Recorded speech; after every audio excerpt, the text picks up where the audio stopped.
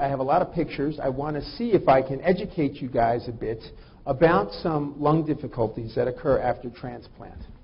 Um, I'm not sure I have to do this, but uh, there are disclosures. I am going to be discussing what's called an off-label use uh, of a medicine called etanercept or Enbrel. So this drug is FDA approved, uh, but we, uh, it's not approved for lung problems, although we have used it.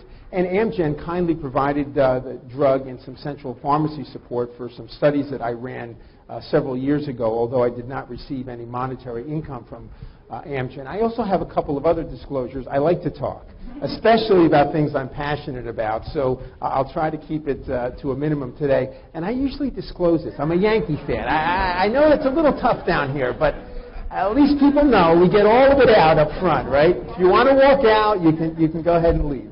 Um, anyway, so what are some objectives today? So I'm going to spend, you're here because you're all transplant survivors, so I know you know this information, but maybe two or three slides introducing the concept of bone marrow transplant and graft versus host disease. You guys are probably honorary experts at this, but if you don't understand that, the rest of the talk uh, can be a little bit more difficult to follow. Then we're going to spend some time reviewing lung anatomy. What does the lung really look like inside, and how can we look at pulmonary function testing? I was just talking to Barbara, who was telling me about some of her pulmonary function tests. I want you guys to understand what some of that alphabet soup is all about. So we'll have a couple of slides to take you through that. And then we're going to talk about some lung problems that we can see. Some are from infection, some are not. Some can occur early, some occur late, is the lung a target organ of graft versus host disease? I was just talking to Barbara about this. And then in the end, we'll follow up with some tests and procedures that may be completed to diagnose uh, lung problems and to talk about some of the hope that we have moving forward. So, the overview of bone marrow transplant or blood stem cell transplant. Traditionally, there's been this feeling that more is better. You could give supralethal doses of anti-cancer therapy. This is followed by a donor stem cell rescue. We do know over the last 10, 15, 20 years, many of you have, uh, may have received a reduced intensity transplant or a non-myeloablative transplant. So you can cut back the amount of chemotherapy and irradiation that is used, but still infuse those donor stem cells, which could be life-saving. Now, the good news is that it's the only curative therapy for many patients. The challenging news is that there are several limitations to successful outcomes. Regimen-related toxicity. We, you guys went through this. This is no picnic. You can have risks of infection, bleeding, and organ dysfunction. We know that patients can develop graft versus host disease, the target tissues generally being gut, liver, and skin. I am a big believer that the lung is also a target early and late. Lung injury, that's why you're here, and dysfunction, again, as I mentioned, can occur early after transplant or months and years later. Could be from an infection or not. We're going to talk about that. And of course, we always worry about the risk of relapse of underlying malignancy if that was your primary reason for transplant. So what do we know about graft versus host disease? And, and, and, if I could ever begin to define it in just a slide or two. This is a quite complex process for sure. This is how I like to talk to my patients and families about it, however. I like to start with thinking about a lung or a heart or a kidney transplant, wherein in that case, people can generally get your arms around the fact that it's the patient's immune system rejecting the donor organ. You guys know that graft versus host disease is this problem turned 180 degrees. It's actually the donor stem cell graft, regardless of match, that can reject you or the patient, hence the term graft versus host disease. This has remained a major uh, complication, particularly when your transplant is from stem cells from someone else. It can be life threatening. It remains a barrier to broadening the scope and success of transplant. And it is always a risk unless you happen to be transplanted by an absolute identical twin.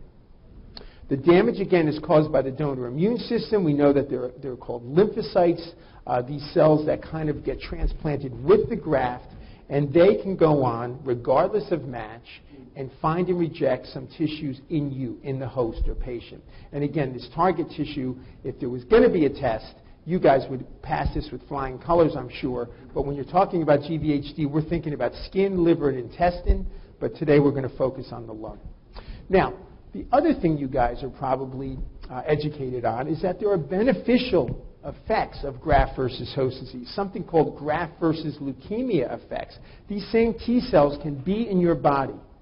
And long after the chemotherapy and radiation is gone, they can provide surveillance to kind of go after and target residual cancer cells. This is a very powerful effect, but it's very tightly linked with graft versus host disease. And in fact, the overall goal of transplant, when you're getting your stem cells from someone other than self, is to reduce the damage of graft versus host disease, but facilitate the restoration of the blood and the immune systems and preserve graft versus leukemia effects. This is the holy grail for any of us involved in the delivery of transplant. Okay, so we understand GVHD a little bit, I hope. Now we're going to dig into basic lung anatomy. So how basic are we going to get? Well, not too basic. Here's a cartoon of a tree. Think about a tree, but more importantly, think about a tree upside down. Then you begin to think about your lungs. So your trachea or your windpipe is basically the trunk. And then you're going to have major branches, just like of the tree. They're your bronchi. When people have bronchitis, we're talking about inflammation of the major branches of your lungs. As those branches get smaller and smaller, all the way down to the leaf buds, these are called bronchioles. You may hear the term bronchiolitis or bronchiolitis obliterans. This is why I want to give you a general idea. This isn't just uh, medical mumbo jumbo, it comes from the anatomy of the lung. So I'll take it a step further. Not just a tree upside down. Now, we, we've missed it here because with all the rain, the trees are blooming, but a tree just before uh, we get to spring. This is the better idea of what the lungs are really going to look like. So the, the, the, limb, the leaf buds have yet to kind of burst. They've yet to bloom. And that's important to know because all the way down at the end of these twigs are something called the alveoli. So here are the lungs again. Here's your tree trunk or trachea. The major branches or the primary bronchi. Again, if you have bronchitis, this is what's inflamed. I'm going to show you a cartoon of this in a second. As you get further and further down, as those branches of the tree go all the way down to the twigs, these are called bronchioles, and all the way at the bottom are the alveoli. They're the little, the little sacs at the bottom, at the very end of your branches of the lung, and that would actually be, if you looked at a tree just in the springtime, right where those leaves were going to bloom. So, this is a little bit of a complex slide, but I just want to kind of take you through. Here is again a uh, picture of a, a human. You're going to breathe some air in. That air is going to go into the trachea or to the windpipe. It's going to find its way all the way down those smaller branches of the tree or the uh, bronchial system. When you get all the way, this like, looks like broccoli, doesn't it? So when you get all the way down to those leaf buds, the alveoli, this is where the action occurs. This is where oxygen that you breathe in actually has to get into your bloodstream, and the carbon dioxide which you want to breathe out that is in your bloodstream has to get into the bronchial space. Then it goes all the way back up as you exhale, and that's how we get oxygen in and carbon dioxide out. So, this might uh, put the hair on the back of your neck on end. Generally speaking, people don't like PFTs, even, it, even though it's not a very invasive test, but it's a little bit of a pain in the neck, right? So, but I want you to, I want to uh, kind of take away some of the myths about what we're actually measuring. So this is a little bit of a graph. And think about this line here being breaths in, breaths out, breaths in, breaths out. And as we are sitting here breathing, this is kind of our normal, what is called tidal volume. As the text says, Mr. Smith, take a deep breath in. You are going to then take a deep breath in as far as you can, and then they're going to say, blow out as hard as you can, and you're going to blow all of that extra air and gas all the way out so you can't breathe, uh, blow out anymore. This is called forced vital capacity, or FVC. So this begins our alphabet soup. But again, tidal volume, normal breaths. Take a deep breath in, blow it all the way out until you can't blow anymore. That measurement is forced vital capacity. The lungs never fully collapse. There will be some air left in the lungs. That is called residual volume. And finally, there is something called the total lung capacity, which is the amount of air that is in your lungs from your biggest breath, not only through everything you can breathe out, but also including your residual volume. That is called TLC. Unfortunately, not always like tender loving care, but you get the sense that this is how you can demystify, if you will, the pulmonary function test. Now, here's another graph. Don't worry about the alphabet soup here, but let's start here. Some little tidal volumes in and out, in and out. Mr. Smith, take a deep breath in, okay, and then blow out as hard as you can, all the way till you can't blow out anymore. Again, remember that is called forced vital capacity. That is going to be one of the tests that is measured. But here's the other important test FEV1, forced expiratory volume in one second. After that big deep breath, the machine will measure how much you are uh, blowing out in the first second. And this is another very important uh, uh, measurement. So what ends up happening, and here's your residual volume. What ends up happening?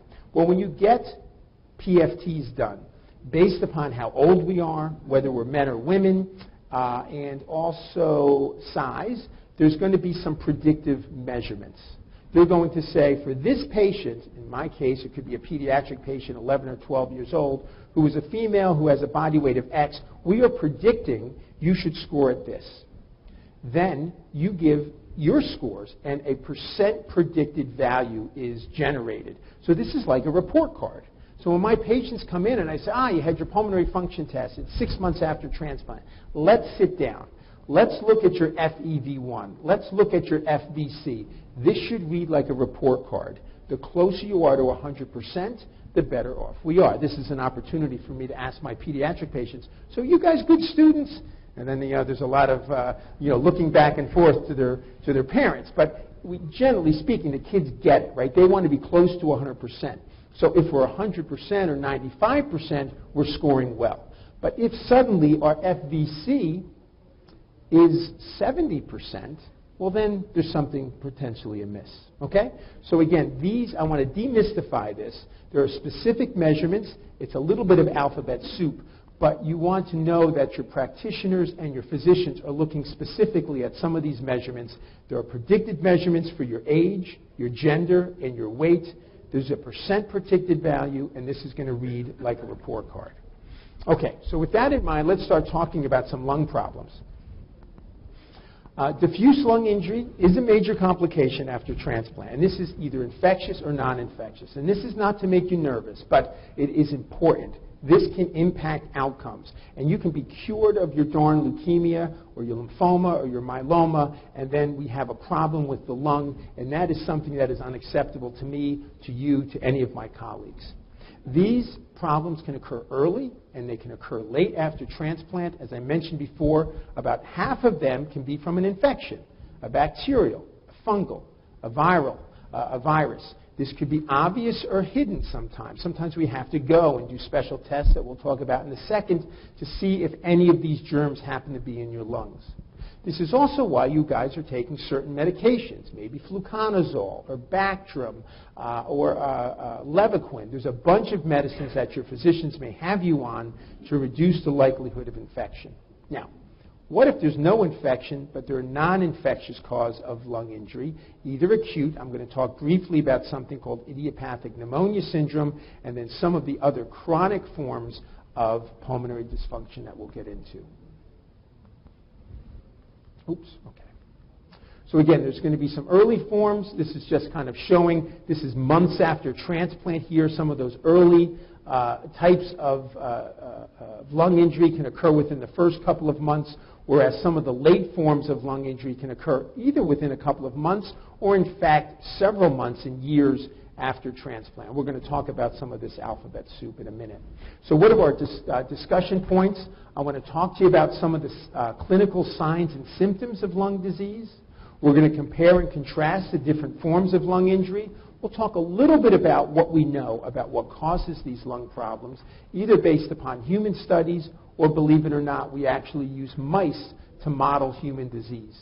And then we'll end with an approach to patients with lung problems and certain treatment strategies to consider in future directions, which I hope will leave you guys with some hope that we continue to do more about this problem.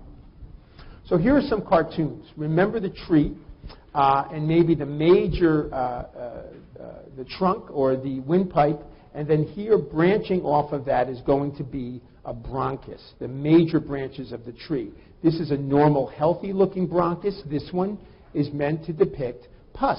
This is when the bronchi are inflamed. Again, if you have bronchitis, this is what your doctor, practitioner, or nurse are trying to tell you. The bronchi are inflamed. They can have pus there. That could be from an infection, could be from smoking. We hope no one in the room is, uh, is smoking. We'll talk more about that later. Uh, but this is the idea of bronchitis. What if all the way down at the very end of the twigs, those area called alveoli, where gas exchange is occurring. What if they are inflamed? What if they're filled with pus? Well, this is when people say, I have pneumonia. This is the part of the lung that is involved. It's really the, the very lowest parts of the lungs that can also collect with fluid, bacteria, etc. So again, the more you know about, oops, the more you know about the anatomy of the lung, the more you can make sense of some of the medical jargon. Lung infections can be driven by bacteria, so sometimes uh, uh, you guys could be on ciprofloxacin, levaquin, moxifloxacin. These are medications that can be used to treat or prevent infection. Uh, certain germs are called fungi or yeast, so many of us can be on fluconazole, voriconazole, posaconazole. Those medicines will help treat and present fungal infections.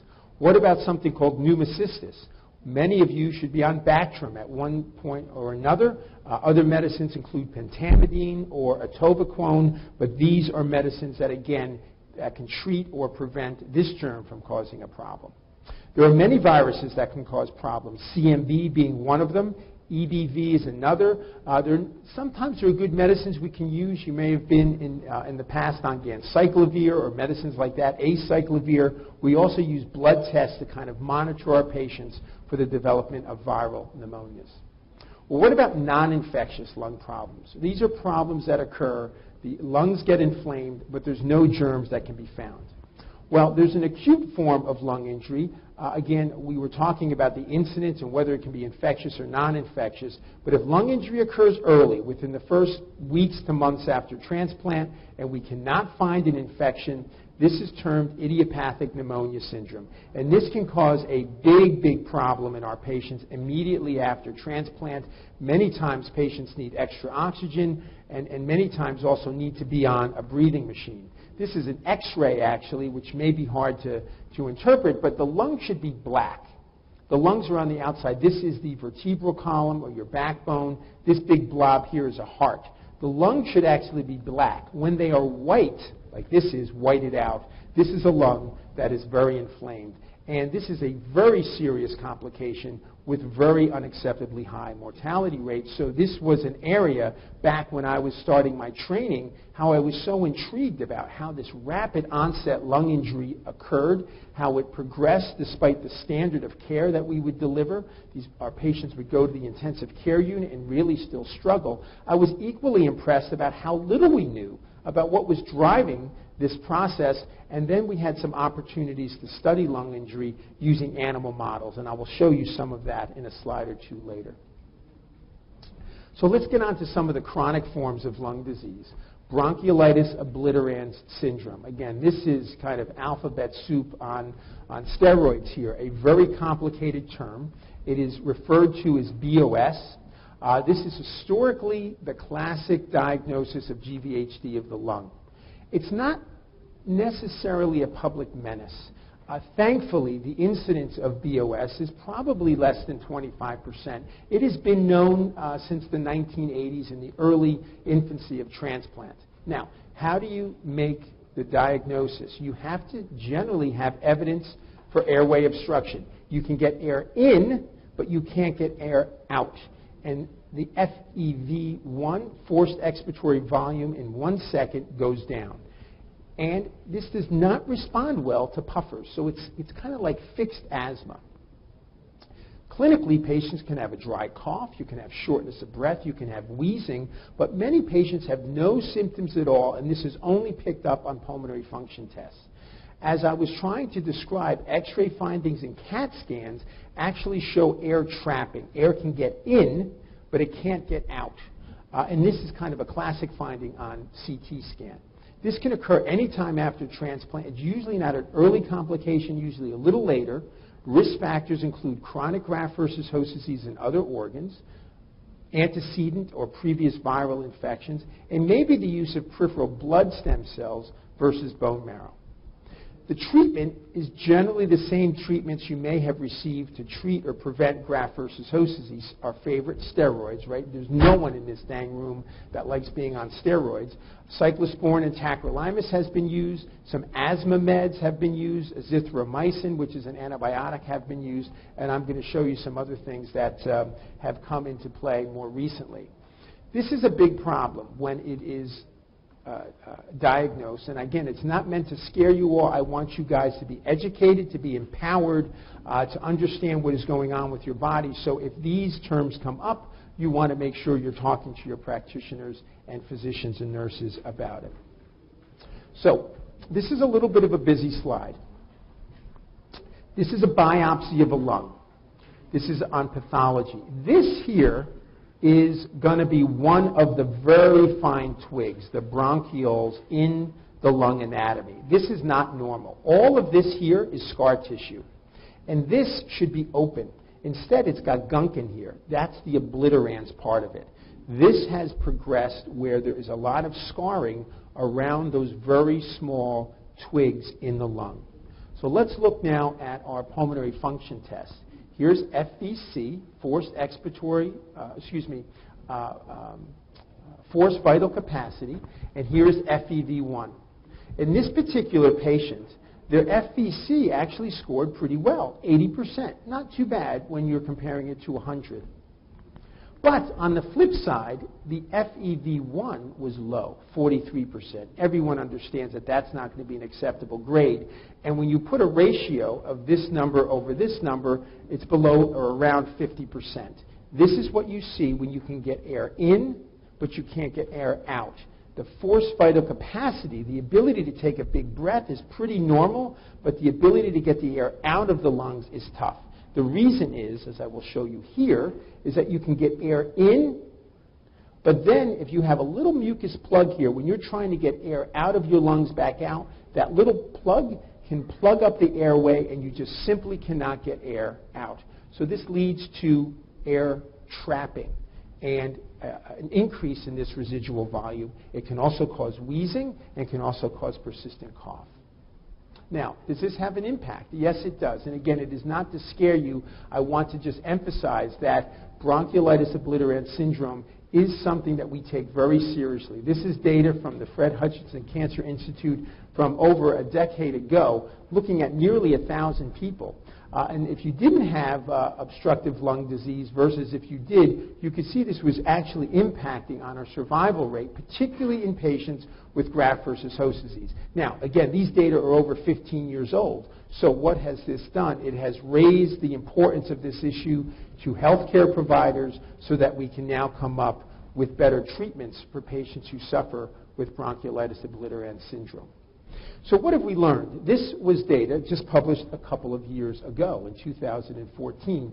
And Dr. Palmer and colleagues found out, perhaps no surprise, that you can have decline in lung function if you are paying attention to pulmonary function tests that predate the onset of clinical symptoms, shortness of breath, cough, etc. And this was actually turned out that the only National Institute of Health symptom-based score, this was shortness of breath, predicted outcome. So an increasing score over time correlated with outcome. So what this means is if people are getting sick, when my patients come in, hi Susan, and they say, Doc, Doc, I, am short of breath when I walk from the elevator to your office. That makes me nervous, right? I, I want to ca- I want to capture those patients before the lungs actually get to that point. So it turns out here that this is um, FEV1, and this is time after transplant. So your ability to get air out of the lungs, this is over time when they track some patients, but this is only when they started seeing symptoms. This graph suggests that the changes on pulmonary function tests will predate the symptoms. To me, this was a paper that I published shortly after. This gives us a window of opportunity. If we are paying attention to our pulmonary function tests and we could start see them going down, even if our patients are not coughing or not short of, short of breath, this is now an opportunity for us to perk up our, uh, our ears and to pay more attention to what is going on. So if we're going to treat, we can do so before signs and symptoms of disease occur. Does that make sense? So, another form of chronic lung injury, very close to bronchiolitis obliterans syndrome, but this is called bronchiolitis obliterans organizing pneumonia. Even easier to say, right? This is called BOOP. So you have BOS and BOOP. It turns out that this is a distinct form of lung injury. Again, thankfully not a public menace. 2 to 5%, maybe 10% of patients, you can have cough and shortness of breath. The x-rays look different. There's fluffiness. It's not going to be the same as BOS. And more importantly, on pulmonary function tests, the problem here is the lungs are stiff. It's not so much you can't get air out, you're having trouble getting air in. So many people actually exchange BOOP and, and, and BOS, but these are distinct problems. And as I was telling Barbara before, this is not necessarily recognized as graft versus host disease of the lung, although I'm a big believer that it is. One of the risk factors for BOOP is, in fact, acute and chronic graft versus host disease. This tends to be a little bit more responsive to steroids, but who wants to be on steroids? Uh, but is a little more challenging to deal with after transplant. Uh, it can be used interchangeably with that other form, but it's not the same things. On x-rays, on PFTs, on CAT scans, and its response to treatment are different. And this is why, Barbara, I wanted you to know that I'm not sure. Maybe they're thinking you have more of this type of uh, lung problem than classic BOS. So let's go back to our PFTs again. FVC, that big breath in and all of the air out, and FEV1. Well, in this case, this patient can simply 70%, ah, depending on what kind of student you are, probably not happy with that number. It's the ability to get air in that's the problem. If you look at FEV1, that number is about the same, so this ratio is 100%. So this is not classic graft versus host disease of the lung as it's uh, standardly considered. However, this is a, an issue where the lung is still not functioning well. Now, you may have some inflammation, but those little airways at the very end are completely plugged up hence this term organizing pneumonia. Remember, pneumonia is all the way down at the little leaf buds of the tree. And here's the cartoon again. You can have injury very low down in the bronchial tree, and then you can get inflammation that goes into those little leaf buds. So that gets the organizing pneumonia part of the bronchiolitis obliterans. So again, another problem that can occur after transplant. The x-rays and CAT scans are very distinct. They're fluffy infiltrates. This is not the same as what you would see in BOS, so that to your nurses, practitioners, and physicians, we should be able to make that distinction for you. Okay, we're going to finish up here over the next couple of slides and then get on to some questions. So what are some possible uh, causes of lung problems after transplant? Certainly, chemotherapy and radiation can uh, injure your lungs. There could be hidden infections. So, again, your care team is going to be carefully looking at a variety of different germs that could be in your lungs. What if it's the immune system gone wild? Again, this graft versus host disease. We know that graft versus host disease uh, affects our patients. Uh, some of our patients will get acute uh, and chronic lung injury, and there are connections between the two. So this has led us to whether or not Uh, uh, uh, understanding lung problems after transplant could be seeing it as a form of graft versus host disease. Now, in just a slide or two, I will say that we've used actually mouse models. We've actually transplant mice. Some of them have an identical twin. Some of them have a mismatched donor. And then we can look at the lungs of mice over the course of time. This is a very normal looking lung, but animals that get graft versus host disease have lungs that have many, many immune cells in them. And we and others have come to find and use these models to try to figure out what is driving lung injury, and tumor necrosis factor happens to be a protein that we have identified that is associated with inflammation that may cause lung injury in mice, and we have found that it is a big player of lung injury in humans, both early and late. This looks like that bronchiolitis obliterans, right? This is actually a mouse lung, not a human lung. This is just one cartoon to suggest that in my mind, I don't think a chronic lung injury occurs overnight. I think this is a progression. The lungs can get injured early, and if that inflammation continues, even if it is silent, if it involves those small bronchi- uh, uh, uh, bronchial trees, you can get inflammation around those bronchioles, bronchiolitis. Sometimes it actually involves the fishnet network of the lungs. This can actually cause more stiffness of the lungs rather than obstruction.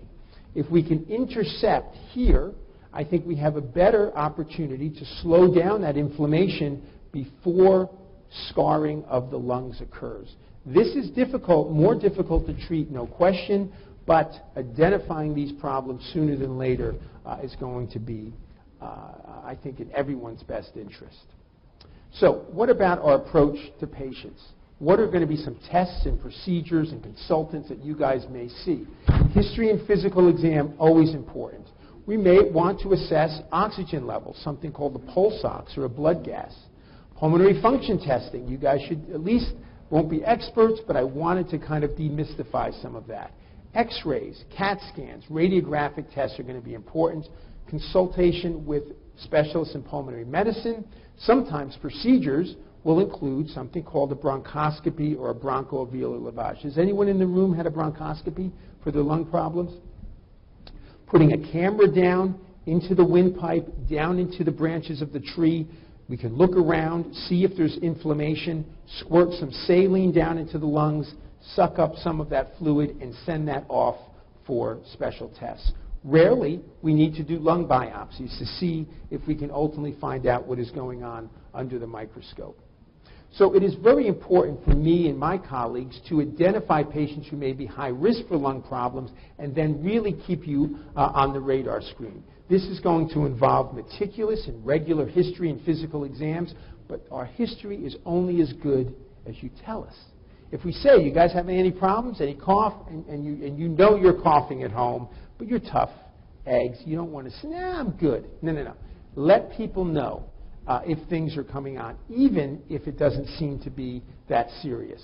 Because early recognition is going to be important. If not, I like personally to increase the surveillance to find subclinical lung dysfunction. So I'm a big advocate of doing pulmonary function tests a couple of times a year for the first couple of years because I want to see if the lungs are telling us something before clinical symptoms develop. If we see a drop in pulmonary function tests from baseline, I'm sure all of you have at least gotten PFTs before your transplant, then my ears go up and I want to spend a little bit more time doing some further evaluation. Now, if you come in and you're coughing and short of breath, I'm jumping right to this point right out of the gates. Now, what if we find infection? Well, then, if we do, we're going to treat it. If not, is there any other evidence for systemic graft versus host disease? I'm going to be looking at your skin. I'm going to be looking at your joints, your fingernails, your mouth. I'm going to be asking you questions uh, about you know, how your other organ systems are working. Treatment, steroids at minimum, unfortunately, and other supportive care options, but there are now been clinical trials that have been uh, completed and, uh, uh, and now published, and some that are still ongoing. I mentioned before this medication, etanercept. This blocks this protein, TNF alpha. Azithromycin is an antibiotic that uh, your physicians may have you on. There's a combination called FAM, or an inhaled steroid, this antibiotic azithromycin and a medicine that reduces immune cell recruitment to the lung. And now there are other trials uh, that we'll talk about as we close. So, what about from your perspective? No question. We need you to take good care of yourself. Smoking completely out. Now, I've never been a smoker. I understand that this could be a problem, but this is only going to irritate your lungs. And this goes for our patients and the caregivers, right? And then, of course, when you're on immune suppression and you're having some issues with your lungs, we want to try to stay away from crowds and individuals who are ill to keep those infections uh, uh, away from us. I want you to ask your doctor or nurse about pulmonary function tests if you haven't had them in a while, and let your team know about new breathing problems for sure. Uh, take prescribed medicines even when you're feeling well. If you're on Bactrim or fluconazole or what have you, there could be a very good reason for that. What about the future? I want to leave you with some hope. I mentioned some clinical trials, uh, etanercept being one of them, uh, that I'll show you in a cartoon in a second, that neutralizes this protein TNF-alpha. We've used it early and late after transplant, and I've seen some nice results. I mentioned this combination FAM, fluticasone, azithromycin, and montelukast. Easy to take. A paper just came out that showed you can get stability in your pulmonary function tests if they are low. There's a now a, a, new drug out called ibrutinib. This is being used for chronic graft versus host disease. There are other drugs out that we know that are coming around the pike that we will begin to look at in this setting. Now, here's some other hope. 2014, a whole bunch of experts, including myself, got together to talk about chronic graft versus host disease. We want you to know this is important to us. We're focusing on clinical trials and the diagnosis and updating the diagnosis and treatment of lung GVHD and updating the biology of chronic graft versus host disease. If we know what drives this problem, then we can target uh, new agents that may help uh, uh, treat and prevent it. And this is being generated using animal models, including our furry friend, the mouse. So here is a, uh, just a kind of a cartoon, some of the work that I've been blessed to be a part of when we're thinking about an injured lung. And it turned out that over the course of time, people in my laboratory and others, again, came up with the fact that this protein, tumor necrosis factor, which can be neutralized by a drug called Enbrel, has actually been changing the standard of care for our patients, particularly those with acute lung injury. This was a little girl who had very inflamed lungs after transplant, and we put her on a clinical trial using this drug. And this actually was a Valentine's Day card. You can tell it's a little dated because I look much younger here. Uh, but this was really, this is what drives me to work every day, right? So this is about being on the cutting edge of uh, research to be able to do this. So here's our summary slide. Uh, lung problems are a significant problem. They can occur early or late. Uh, in each scenario, lung problems have a big impact on morbidity and mortality. This is important to you and it is important to us. It is not a easy problem to fix, but we are on it. We are developing animal models. We're coming up with new drugs, new clinical trials. We're trying to figure out if um, proteins like tumor necrosis factor that have a big, pro- a big uh, role in acute lung injury may be a common thread to the development of chronic. We know that more needs to be done, but again, we're on it. The National Institutes of Health is funding a lot of this uh, research. We de- uh, do need to have more randomized controlled clinical trials. We're looking at uh, blood biomarkers that may be able to identify the di- and diagnosis uh, and early uh, identification of patients who are at risk. I, again, am a big believer of more frequent surveillance of pulmonary function.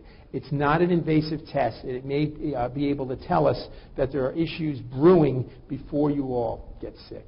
Here's a brief acknowledgement slide to my colleagues at the Johns Hopkins Kimmel, uh, Kimmel Cancer Center. My uh, heart, my hats go out and off to our patients and their families. Uh, this cannot be done, the work, uh, without funding support. And I will throw a, a, a, a kudos out to the Cowden Foundation. Uh, uh Jerry and Marty Cowan are here. Uh, Cowden are here at this meeting um, this, uh, this weekend. So I'll end on my secrets to success. Remain passionate and committed. I don't care if you're in the medical field or not. Embrace teamwork and camaraderie. Find a good mentor and, and be one. Uh, this is my favorite, be too good to be ignored. I actually found this in a, a fortune cookie one, one time. This came in late. This was actually from a dear, dear physician assistant who I worked with in Cleveland who said, Ken, you got to find your happy place. And ultimately, we want to raise the standard. So our goal is to allow you guys to be in environments where outstanding clinical research really translates to the best clinical care. This is one of my happy places. I just got the goose pimples. If you've never been here, this is Lake Tahoe in the winter. It is a beautiful place to be. These are my two boys, and uh, you know, this gives a lot of perspective to things. So uh, thank you very much for your uh, attention. I will leave you with some spiritual food for thought as we uh, take some uh, questions. We certainly have some time to do so. So thanks again for coming out, and uh, again, thank you for your attention.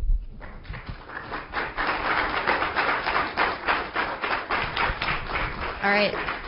Thank you, Dr. Cooke. Let's um, open it up to questions. Do we have any in the room? Start up front here.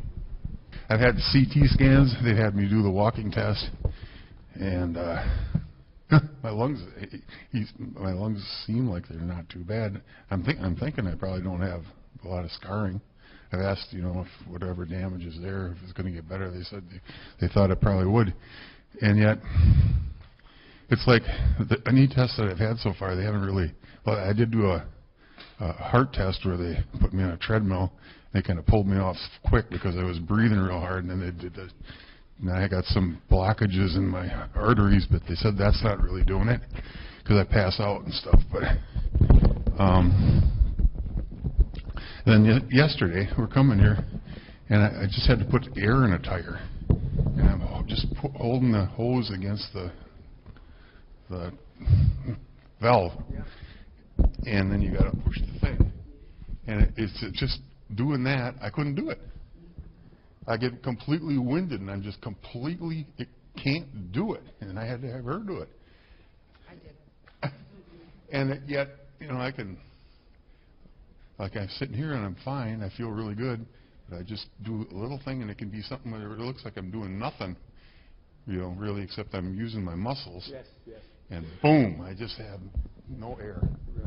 And, And when you've done some of those tests, so you know, the, but none of them test me to that level. It seems, except for that the treadmill. We kind of Yes. started getting there, but I could have gone further. It's weird. It's it's like it's like a it's like a um, where I'm, there's no movement actually, but my muscles are requiring oxygen because I'm pushing. You know, Yes. And that's a big part about how the body works. I showed you a cartoon. So, firstly, I, I can tell that you're struggling with this, right? How far out from transplant are you now? Two years, right? So, this is clearly a chronic problem. And when did all of this, chronic in terms of the time from transplant, when did these symptoms first start? the I'd say like six months ago, it wasn't that bad, and then it just gets worse and worse and worse and worse. Uh, well, you know, I've, I've I've, I'm on photopheresis therapy, and that's helped. And then I got an inhaler, and I got some other, I got a bunch of the stuff you're talking about. Yep. And uh, about a week and a half ago, I finally felt like when I took a deep breath, I could get oxygen. You know, when I because I, I get winded just walking across the room. Yes.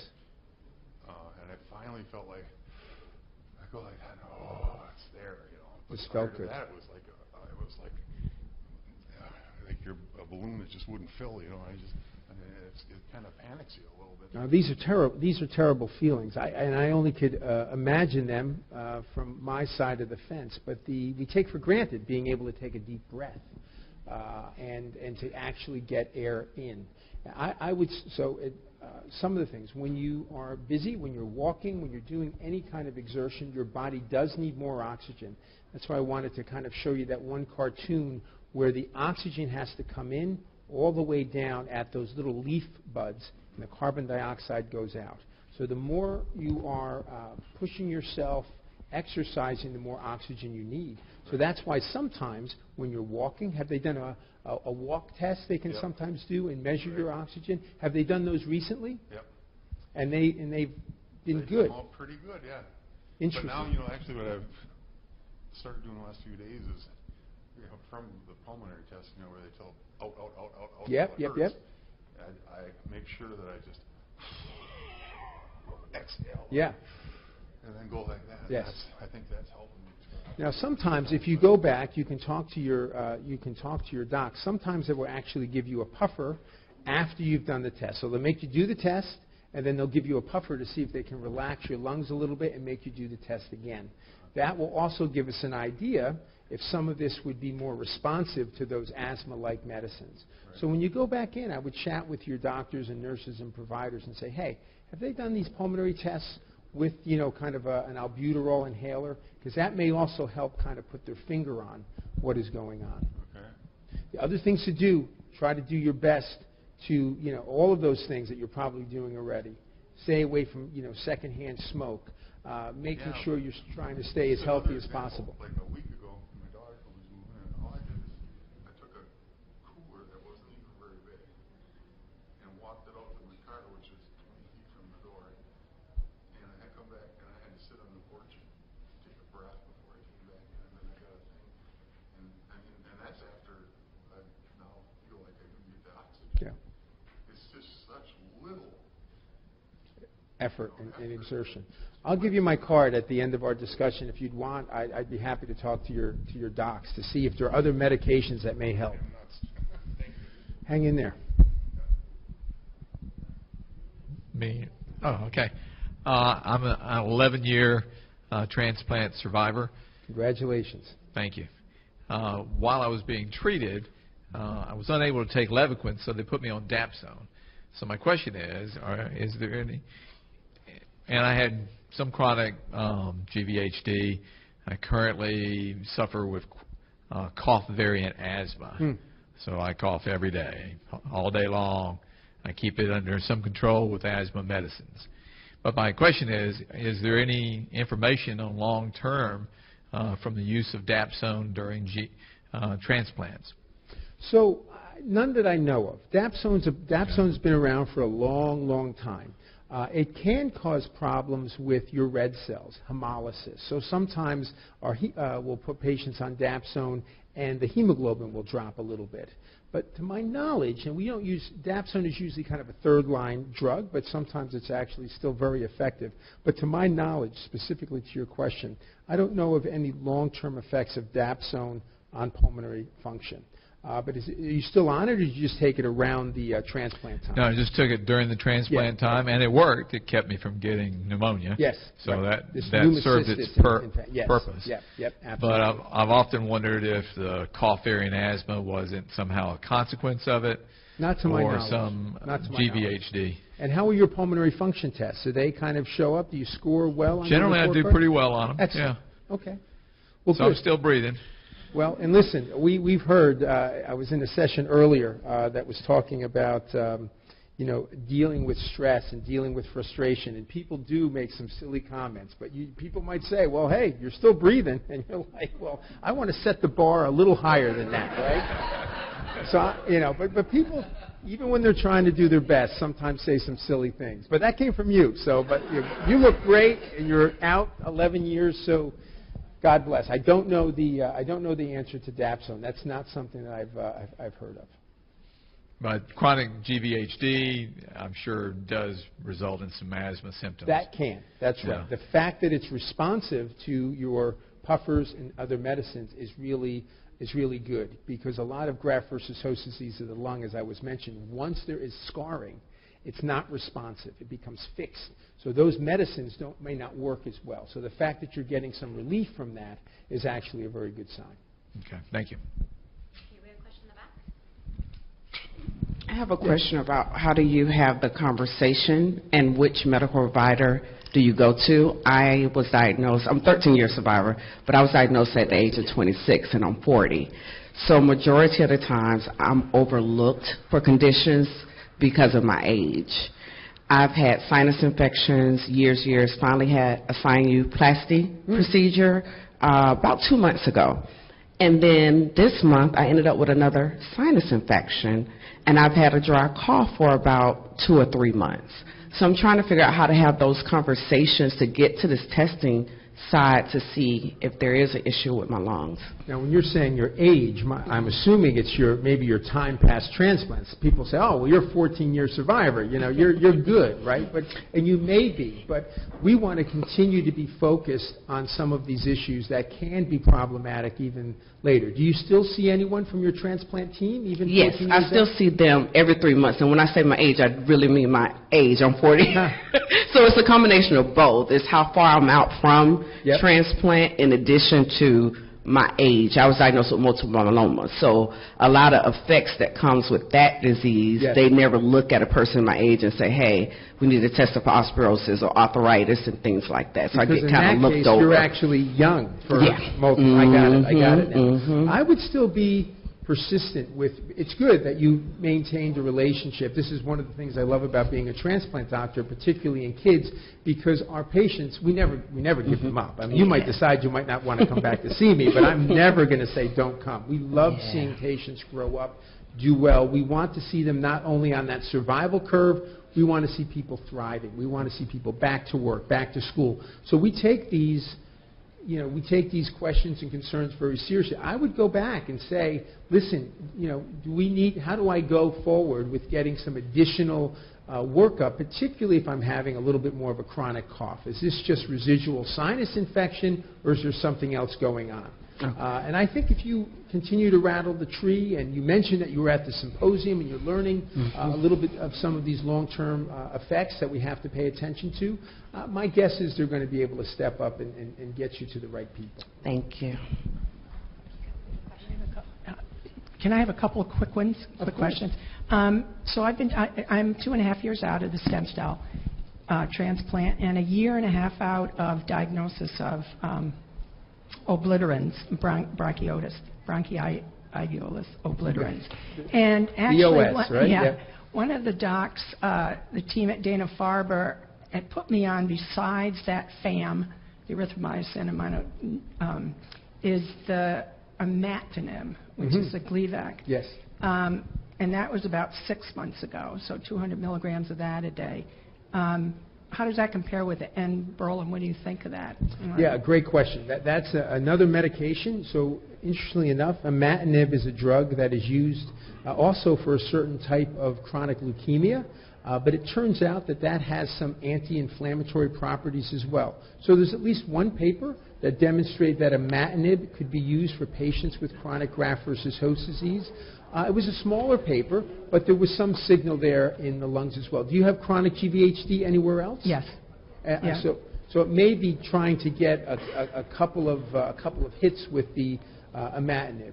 It's generally reasonably well tolerated. So, and you're with a fantastic team. I actually did some of my training up there years ago. Uh, so these guys are really kind of focused on it. Who's your Who's your doc up there? Antin? Joe Joseph Antin. N., yeah. He's the uh, he's the He's the chief founder. yeah, great guy. guy as well, very thoughtful. Yeah. Uh, so we actually participated with their group, at least in one of these trials, where we used the drug etanercept. We have a, a publication probably about as big as the one that was out for imatinib. So I think you could use probably one or the other. If you're not getting uh, the effects that you'd like to see, I would bring that up with Dr. Antin What's the time frame for that?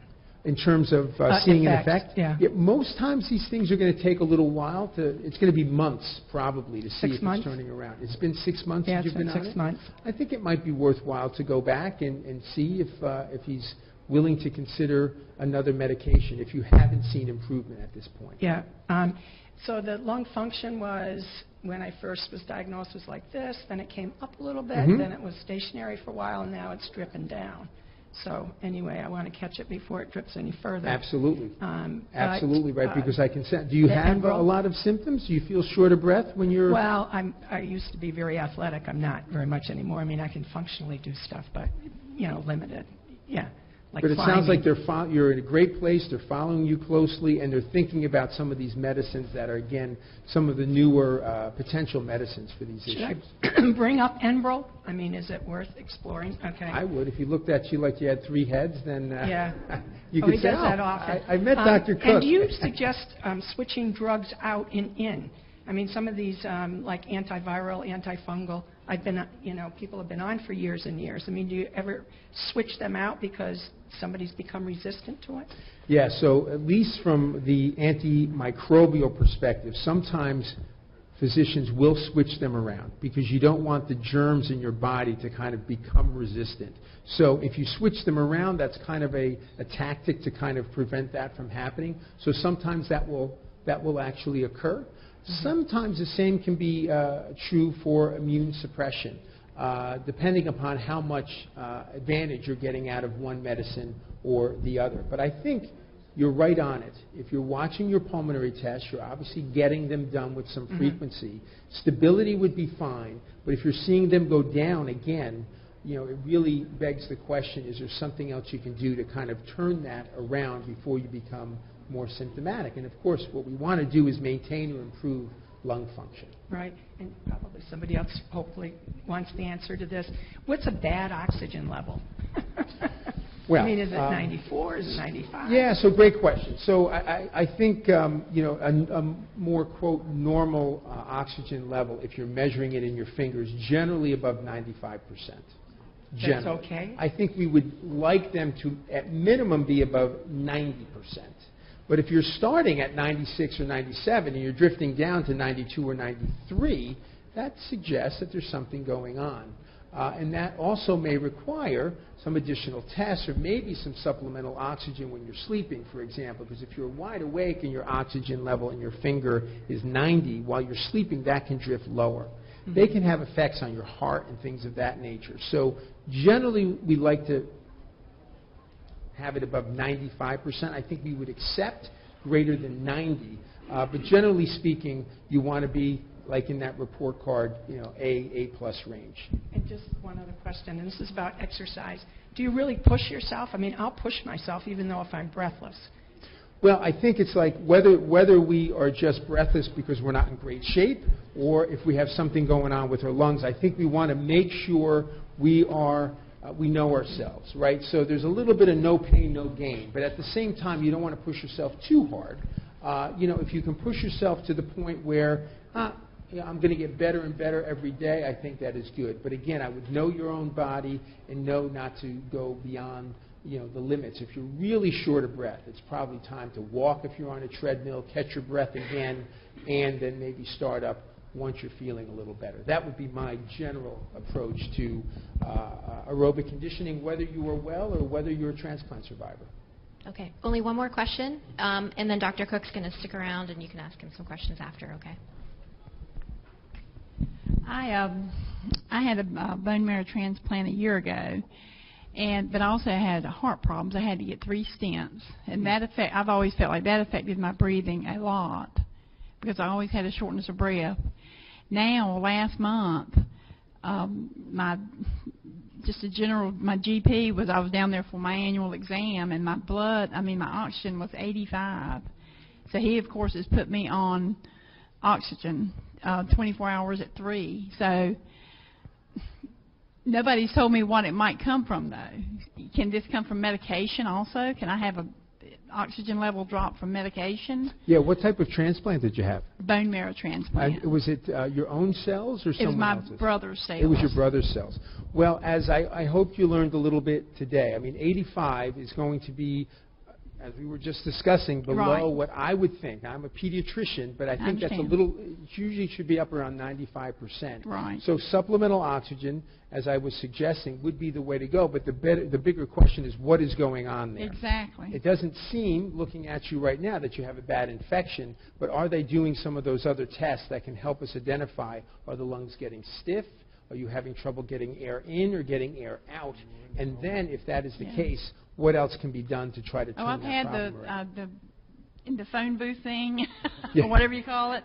I had that like because the minute this happened, um, my doctor here or in Chapel Hill, you've got to have this test. Yes. So I had that, and I think it was okay as far as I know. My results came back okay. Uh, I've when you say as far as you know. Well, she sent it to me, and I don't know. It said everything was okay. So All right, well, now you can go back and There- read it, right? I want you to look. You have it printed out. I want you to look at those numbers FVC, FEV1, TLC. And I want you to look at that percent. It will read like a report card. yeah. And if it is good, then the question is, well, what else could be going on here? Is it your heart again? The heart and lungs are going to work together to get oxygen down into the blood.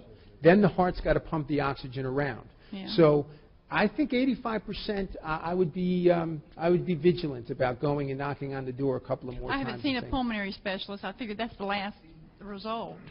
Well, I would move that up. I, I would think if uh, if you you know if you're if you're not getting um, answers that are at least helping you understand what might be causing that, Yeah. that would be the next step, right? Yeah, Get because to it'll go specialist. from 85 and then it'll be 92 and then it like this morning it was 90, you know, and so it, it goes back and forth. So. Yeah, my guess is there's, there could be something going on there, and you just Okay. want to know uh, what that might be. I, I, I would think Uh, I'm always very careful that, you know, maybe a pulmonary doctor at this point would not be a bad idea. Okay. Those numbers are not reading as high on the report card as I think they should. Okay. Thank you. Excellent. Well, thanks again for Okay. coming out. I hope you Thank enjoy all. the rest of the day uh, and the rest of the symposium.